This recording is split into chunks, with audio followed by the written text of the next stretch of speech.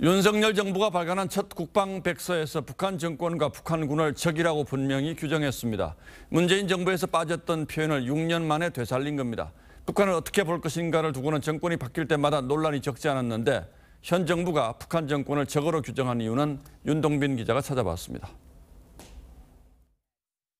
국방 백서에 북한은 적 표현이 6년 만에 다시 들어갔습니다. 북한 정권과 북한 군이 우리의 적임을 명확히 기술하였습니다. 2년마다 발간되는 이번 백서엔 북한 정권을 적으로 규정한 이유도 구체적으로 담겼습니다.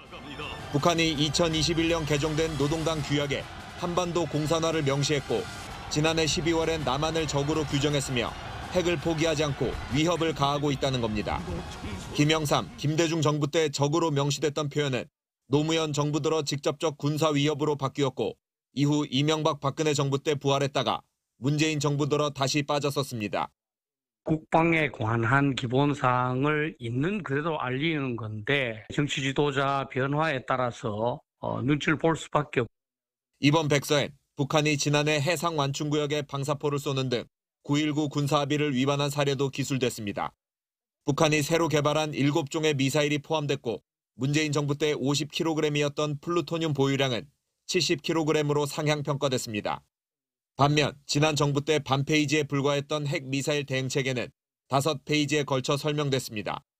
한미가 미 전략자산 전개 빈도와 강도를 높이기로 한 내용도 포함돼 강화된 한미 동맹을 반영했다는 분석이 나옵니다.